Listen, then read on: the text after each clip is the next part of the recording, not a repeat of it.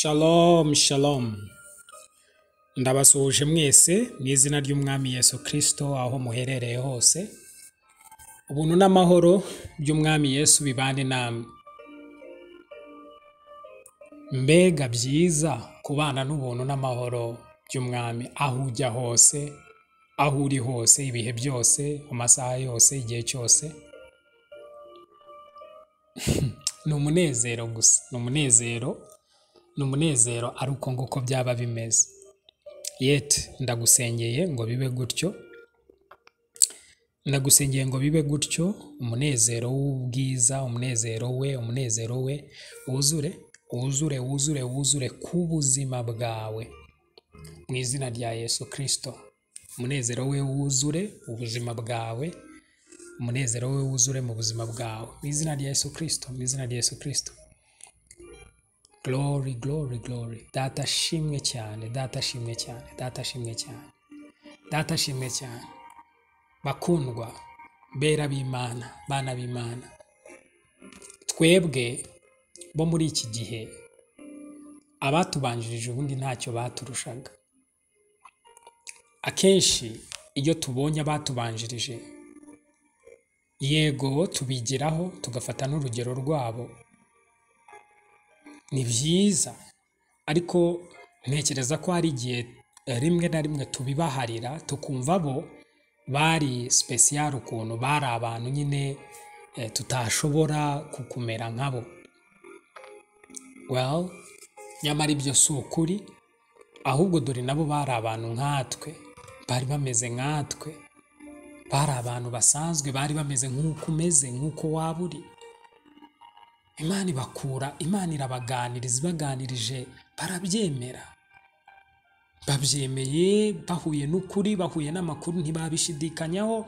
Hari igihe barwanagaho no gushidikanya n'icyo ariko mu by'ukuri bagera aho bakabona ko n'icyo ubundi se batakaza mu kwizera no mu kwemera imana.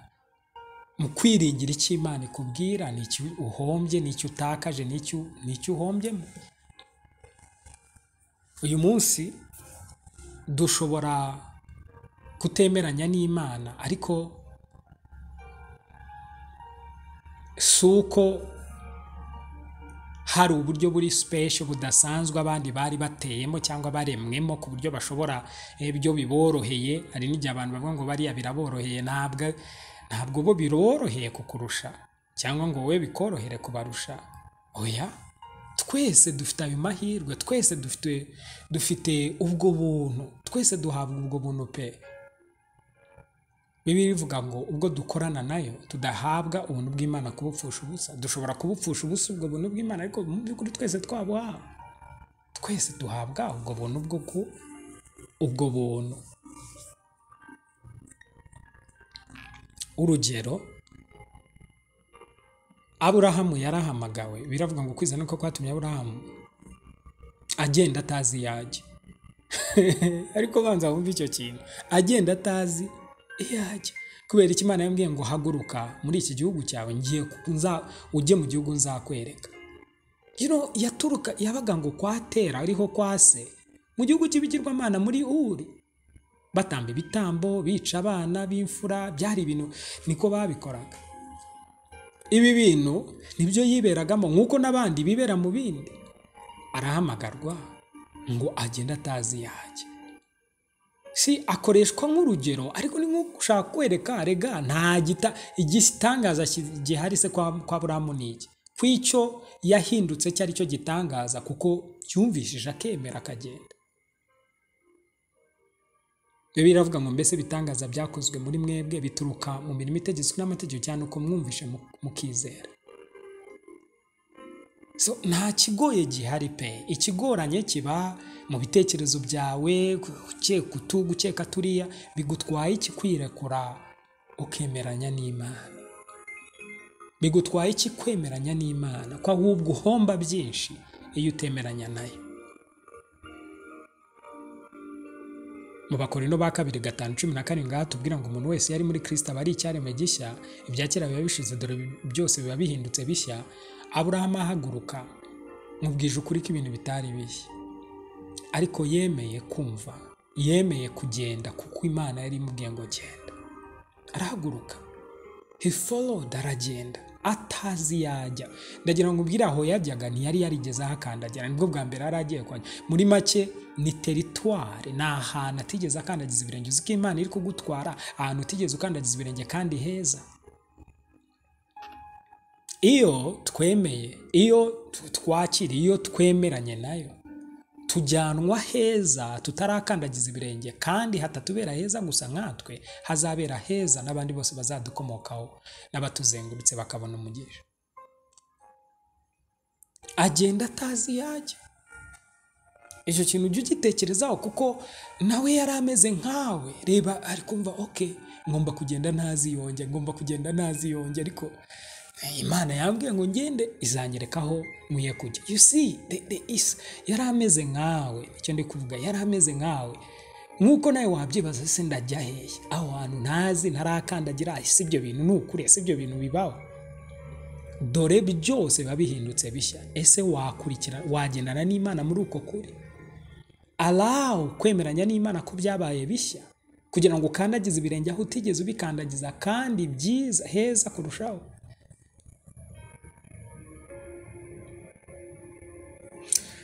Bibiri iravuga ngo uyu munsi niwumva ijwi ryanjye we kwinangira umutima.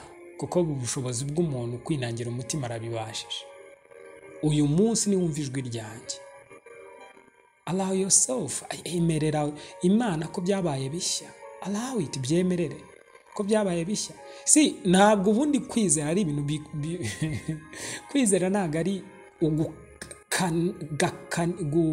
ntabwo ari mekanike ntabwo ari ibintu byo "Eh, ndizeye ndizeye ndizeye oya ni ukoroha is to relax. In fact ni, ni, ukuruhuka ni ukuruhuka ni ukwemera ni ukwemeranya n'imana ni ukudatera imigeri ni ukutaba eh, mu ntambara ni- ni- n'ibitekerezo byawe cyangwa nawe ubwawe mbese kwirwanya cyangwa guhangana n'icyo imana iri kuvuga.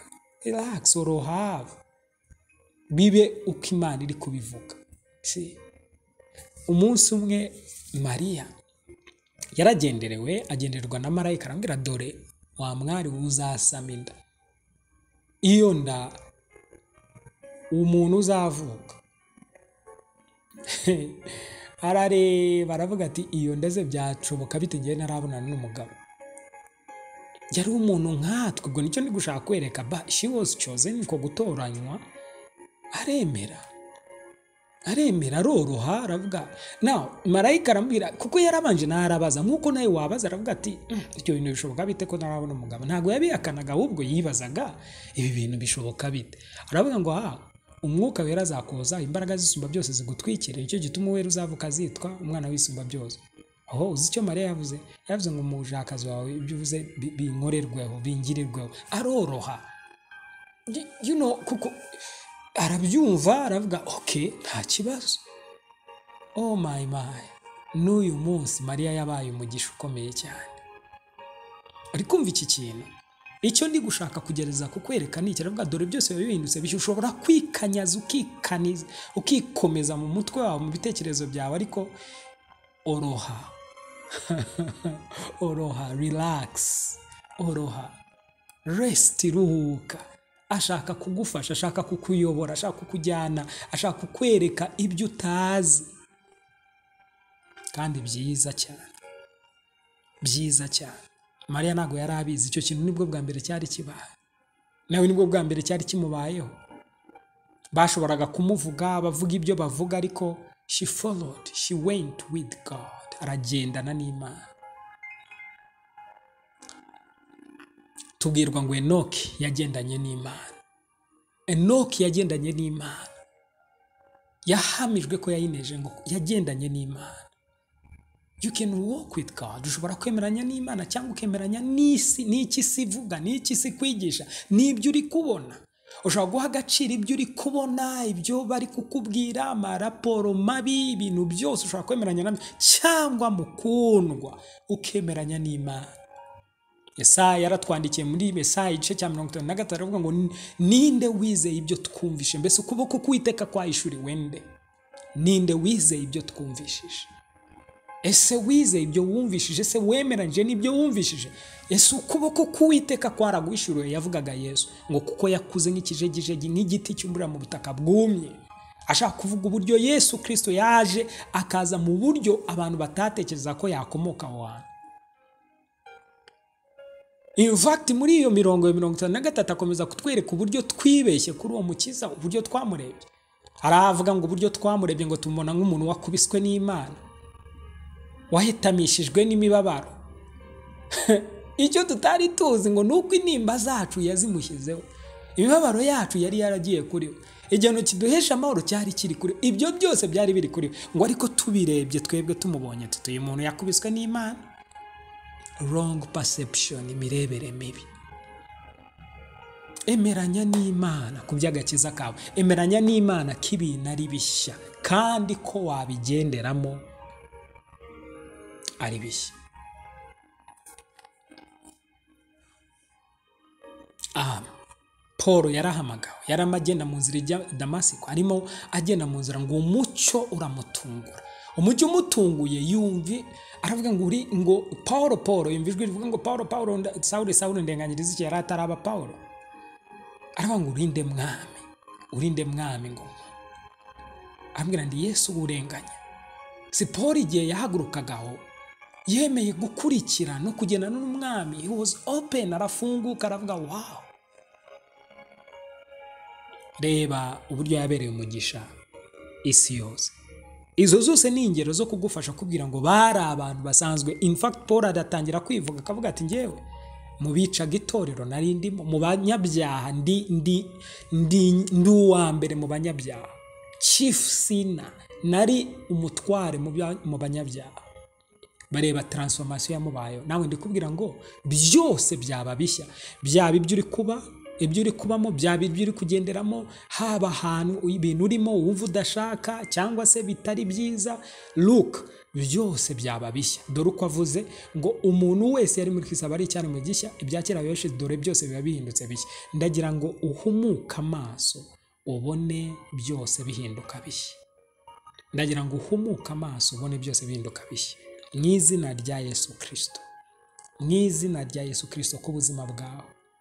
Mu izina rya yesu kirisito mu izina rya yesu kirisito byose bihinduke bishya kuri wowe. Yesi yesi ibyari ibya kera kuri abo bose byagiye bihinduka bishya. Aburahamu icyo gihe nta mwana yagiraga abona umwana ntiyara- ntiyari kuba sogokuruza wo kwizera ahinduka igishyitsi gikomeye n'uyu munsi twigiraho n'abandi n'abandi n'abandi. Bo bose bibiri tubwira ngo ni icyitegererezo. Ni icyitegererezo cy'ibishoboka mu buzima bwawe. Ni icyitegererezo cy'ibishoboka mu buzima bwawe. Hari umugabo wari impumyi ngo aramubwira ati ushaka iki? Aravuga ngo shaka guhumuka yaje guhumuka n'abandi n'abandi n'abandi n'abandi. Ni ukugira ngo bigufashe. Ntabwo ari wowe ibyawe bitandukanye n'iby'abandi. Ndagira ngo uyu munsi wa none worohe mu mutima wawe. Allow the lord emerera imana. Wemeranye na yo kugira ngo ibintu bibe bishya mu buzima bwawe. Shalom shalom.